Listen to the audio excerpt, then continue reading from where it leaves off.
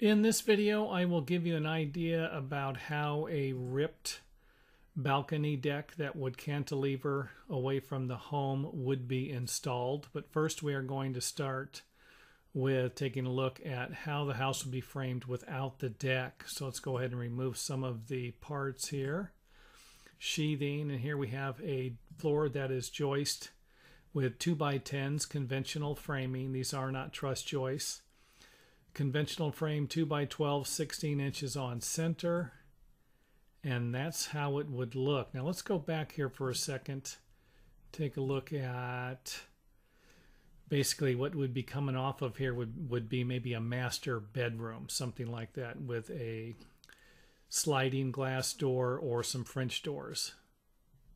In our first example i will be using full length joist and I believe these are about 22 foot long.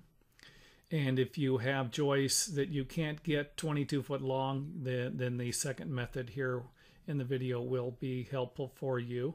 If you can, then this will work. Remember the cantilevers need to stick out one third and then go back two thirds if we have a five foot cantilever then the joists need to go back at least 10 foot to support the cantilever. Now the size of the joist I can't provide you with all the time. You know, um, working out here in California, Southern California, we use 2 by 12s and they would rip them down and uh, they would be about six foot balconies and they seem to work. But with snow loads and stuff like that, you might need a different system. So here we have the balcony it will also slope. We have a one inch drop, and that, of course, is to um, help waterproof the joist or the balcony from the home. And a one inch would be minimum. Uh, we used to actually notch two inches into these babies, but you could get to where you're taking out a lot of, you're really creating a maybe a two by eight, and that might not be good. So it'll slope a quarter of an inch per foot and I'll put a link here to provide you with more information if you need help with that. Some of you might already know how to uh, shape the joists. A quarter inch per foot, if this is drops down an inch, uh, 2 by 12 is 11 and a half inches. Uh, this would be 10 and a half inches from here to here.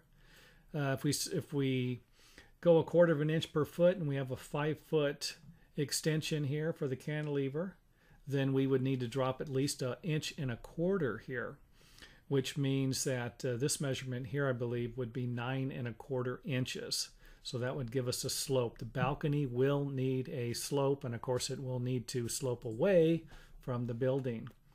Here's the one inch drop I'm talking about. Uh, you will need to nail some blocks, whether they are two by fours or two by sixes or larger, you'll need something there to help give you a perimeter nailing for the plywood that you will be using for the deck. Don't forget that the deck plywood might need to be an exterior grade plywood also. It might need to be a special plywood, might not be the might not be able to use the same stuff you use inside the house. Give you a cutaway section here. Give you an idea. The bottom will be level the top will be sloping. And that is it for example one. In example two, we will be using smaller joist. And these are, we're going to use 16 foot joist here. Uh, five foot um, cantilever again. And this time we are going to have double double joists around the edge. And I have seen them before where they put double joists all the way around. Double joist here, double joist here.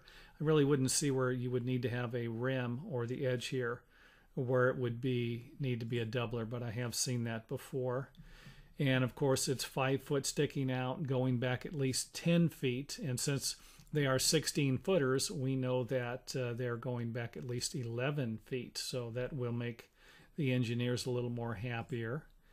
Now, this, on this one here, I went ahead and cut a two inch drop out of it to give you an idea of what that might look like. Um, but again, two inches, now we're taking this from a 2 by 12 to a 2 by 10 and then when we get out a little farther out on the edge it's going to be an inch and a quarter less than that so basically it would be shaping down to a 2 by 8 and that might not be acceptable to an engineer. Uh, the blocks, I went ahead and used a full length block here. This way you could get some type of nailing. If you're going to use siding, um, plywood or something on, on the bottom of the joist um, for the ceiling, then a block like this might be better than having a, a just a block for the upper plywood. Going back here, we will also need to install blocks at the end of the uh, joists to support them, and they will need to nail to the existing joist, and that's a 16 inch on center staggered nailing. Um, and hopefully that makes sense. You would nail, let's say you started here, you would go 16 inches all the way down, and then you would start, instead of starting here on the bottom, you would start in the middle and then go 16 inches that way. So you would have one here, one here, one here, but they'd be 16 inches on center spaced on a line running uh, horizontal basically. So you wouldn't go, uh, and I've seen it too where they just nailed 16 inches.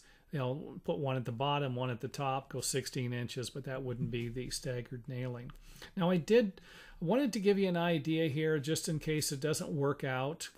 Um, let's go back here go back to the top just in case it doesn't work out you know i nailed these would all be nailed or fastened to the other joists that would uh, be used for the floor framing. And if the deck needed to be a specific size these joists might not line up. That would give you a situation like this. That's kind of why i drew this one in. This one over here nails right up against the other joists for the floor joist this one here if you needed to uh, move it a little bit. This give you an idea how that would happen. Back over here, blocking on this end. Again, we can see where we nailed this up against this joist. Give you a top view of everything. Five foot, one third, two thirds back. Have to block all of this.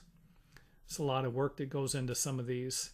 And here you can see the drop, and again, it's two inches. This drop will be used for waterproofing.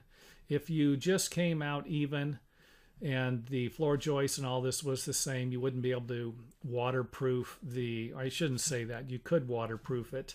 I'd imagine you could do it pretty good with the materials they have now, but uh, this was a common method that we used in the 70s and 80s. And again, I uh, towards the 90s, I these decks disappeared. They weren't being installed anymore, and I think a lot of that had to do with the budgets that these home builders had. So this gives you an idea what it would look like, kind of sticking out here. You have your door here. You would have a handrail that come around it. And there we pan out, a little thing sticking out. That is your ripped cantilever um, balcony for a two story home.